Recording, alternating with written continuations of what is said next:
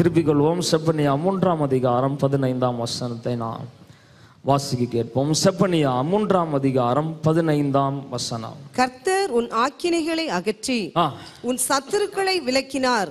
இஸ்ரவேலின் ராஜாவாகிய கர்த்தர் இஸ்ரவேலின் ராஜாவாகிய கர்த்தர் உன் நடுவிலே இருக்கிறார். உன் நடுவிலே இருக்கிறார். இனி தீங்கை காணாதிருப்பாய். இனி தீங்கை ஹalleluya இனி தீங்கை ஆண்டவர் சொல்றார் இஸ்ரவேல் ஜனத்தை பார்த்து இஸ்ரவேலின் ராஜாவாகிய கர்த்தர் உன் நடுவில் இருக்கிறார்.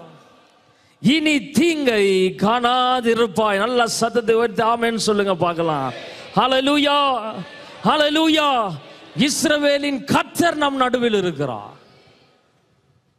அதனால அவர் சொல்றார் இனி தீங்கை காணாதிருப்பீர்கள். தீங்கு எல்லாருடைய வாழ்க்கையில் வரக்கூடிய ஒரு காரியமாய் இருக்கிறது. தீங்கே வராதா அப்படின்னு கேட்டிங்கன்னா எல்லா மனுஷனுக்கும் தீங்கு நாட்கள் உண்டு.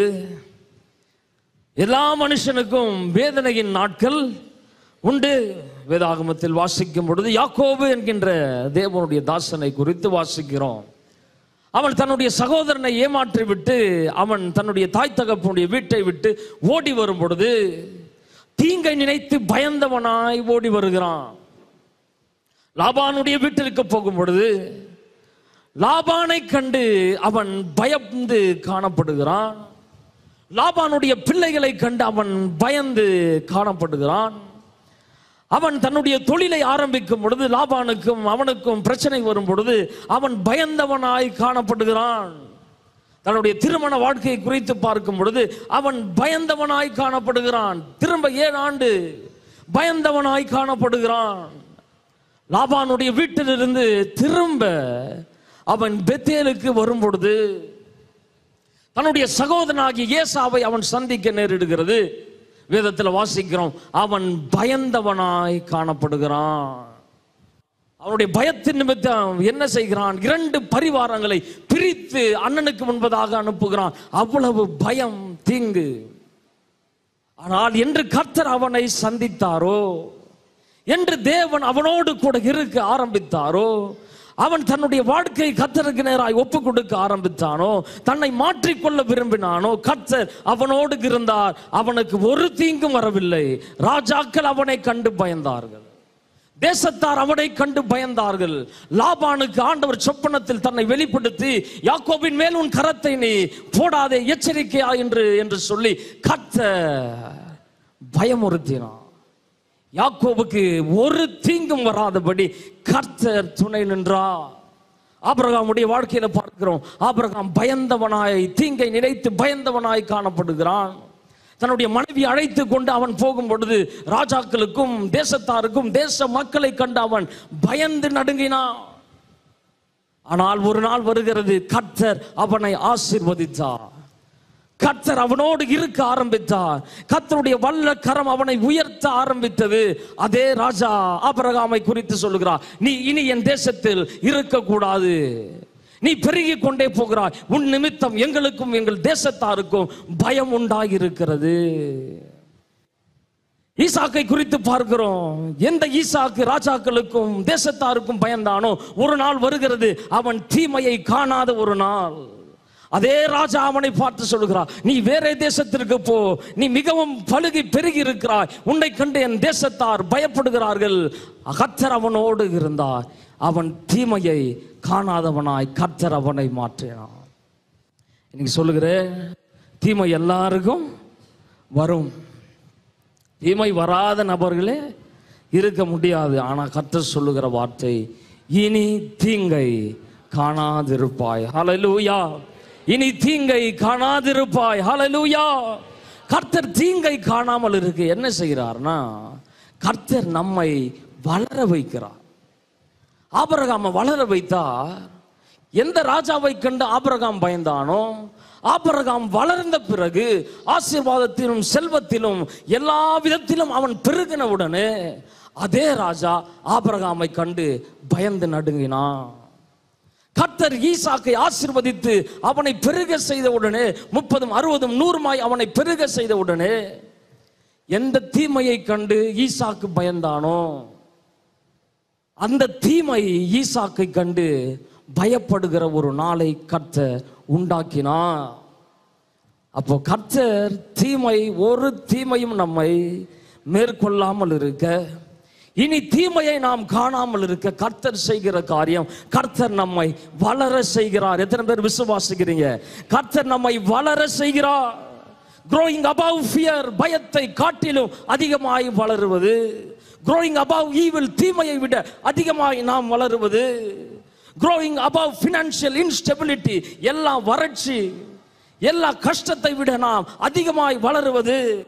குரோயிங் அபவ் கிரைசிஸ் எல்லா பொருளாதார நெருக்கடியை காட்டிலும் அதிகமாய் நாம் வளரும் பொழுது எல்லா வியாதியை காட்டிலும் அதிகமாய் நம்முடைய சுகம் வளரும் பொழுது கர்த்தர் நம்மை வளர செய்யும் பொழுது இனி நாம் தீமையை காணாமல் இருப்போம். ஹலலூயா ஹலலூயா ஹலலூயா அப்போ வளர்றது ரொம்ப முக்கியம். வளர்ந்துட்டோம்னா அதே தீமை வளர்ந்த பிறகு ஒண்ணுமே இல்லாமல் இருக்கு. எது ஆபரகாமை பயமுறுத்தியதோ அது அவனுக்கு ஒண்ணுமே இல்லாம மாறுகிறது. எந்த ஆபரகாம் பயந்தானோ அதே ஆபரகாம் வளர்ந்த பிறகு தன்னோட முன்னூறு ஆட்களை கொண்டு போகிறான். யாரை மீட்க? லோத்தை மீட்க. வளர்ந்தோம் என்று சொன்னால் நம்முடைய வளர்ச்சியை கர்த்தர் விரும்புகிறார். கர்த்தர் நம்மை வளர செய்கிறார். வளரும் பொழுது தீமை வரும் பொழுது தீமையை பார்த்தோம். தீமையை நாம் காணாதிருப்போம். ஹலலூயா ஹலலூயா ஒரு சின்ன உதாரணம் சொல்கிறேன் உங்களுக்கு நல்லா புரியும். சிறு வயதில் டாட்லராக இருக்கும் போது எல்லாரையும் எறும்பு கடிச்சிருக்கா? எறும்பு கடி வாங்காத யாராக இருக்கீங்களா? அப்போ சிறு குழந்தைங்க பார்த்தீங்கன்னா எறும்பு கடிச்சிடுச்சுன்னா ஓன்னு அழுவாங்க. சிங்கம் தான் வந்து கடிச்சிடுச்சா என்ன பண்ணுவோம்? பதறி. ஓடி போய் பார்த்தா சின்ன எறும்பு எங்கன்னா என்ன இருக்கும்?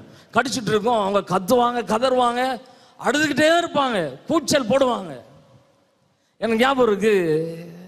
சிறு வயதில் என்னுடைய அம்மாவுடைய அப்பா வீட்டில் என்னுடைய தாத்தாவுடைய வீட்டில் லீவு வந்தாலே அங்கே அங்கே தான் போயிடுவோம். அங்கே போவோம் இல்லை அத்தை வீட்டுக்கு போவோம்.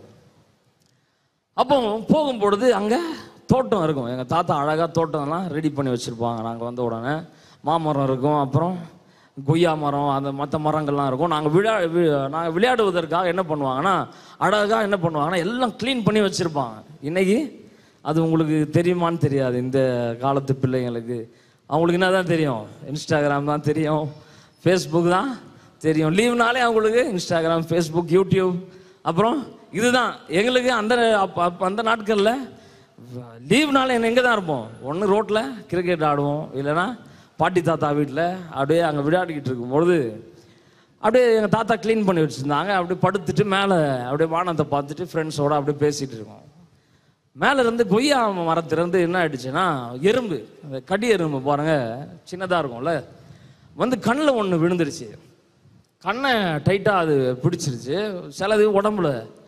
அட ஆரம்பித்தேன் காலையில் அற ஆரம்பித்தேன் மத்தியானம் வரையும் அழுதுகிட்டே இருந்தேன். அழுதுகிட்டே இருந்தேன் அழுதுகிட்டே இருந்தேன். எல்லாரும் க- தேட்டுறாங்க. ஆனாலும் அழுதுகிட்டே இருந்தேன். இப்போ யோசிச்சா எனக்கு சிரிப்பாக இருக்குது அதுக்கப்புறம் அந்த இடத்துக்கே நான் என்ன பண்ண மாட்டேன்? போகவே மாட்டேன். இந்த வாரம் பார்த்தீங்கன்னா மழை காலம் வர ஆரம்பிச்சிருச்சு. எல்லார் வீட்டுக்கும் எறும்பு படையெடுக்க ஆரம்பிச்சிருக்கோம். போய் தெரியாமல் செவுரில் என்ன பண்ணிட்டேன் அப்படி சாயும் போது ஒரே ஷோல்டர் ஃபுல்லாக எறும்பு. ஒரே எறும்பு. என் மகளும் கூட இருந்தா அவள் மேலேயும் எறும்பு. அவள் உயிர் உயிர்னு கத்துறா. நான் என்னவோ ஏதோன்னு பார்த்தா என்னது? எறும்பு. அதே எறும்பு என்னையும் கடிச்சிருக்கு. நான் என்ன பண்ணுறேன் இப்போ அதை தட்டி விட்டுருங்க ஒரு காலத்தில் அது கடிச்சது. அரை நாள் முழுதும் அழுதேன். இன்னைக்கு நான் வளர்ந்துட்டேன். இன்னைக்கு அது திரும்ப என்னை கடிக்குது. அதை நான் தட்டி விட்டுறேன் அதனால தான் ஆண்டவர் சொல்றாரு ஆபரகாமை கர்த்த சீமானாய் வளர வைத்தா ஈசாக்கை முப்பதும் அறுபதும் நூறுமாய் வளர வைத்தார். யாக்கோபை கர்த்தர் வளர வைத்த பிறகு எந்த காரியம் அவனை நெருக்கியதோ அவன் வளர்ந்த பிறகு அந்த காரியம் அவனுக்கு முன்பதாக ஒன்றுமில்லாமல் போயிற்று. இன்னைக்கு அதான் கர்த்தர் விரும்புகிறார். இனி தீங்கை காணாமல் இருப்பாய் நல்ல வாயில திறந்து சொல்லுங்க. இனி தீங்கை இனி தீங்கை